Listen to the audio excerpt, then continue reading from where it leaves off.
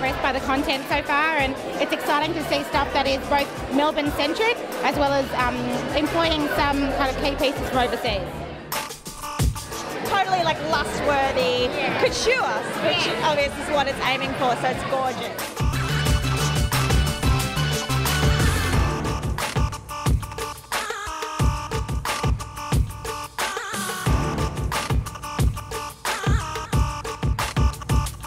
But fantastic, fantastic. I like it.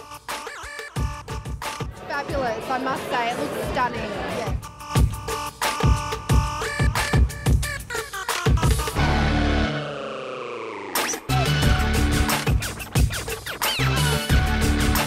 Yeah, today it's imperative, I think. You can't be uh, in fashion now without having an online presence at, at all. So it's totally imperative, I think. So that's why couturing is so great.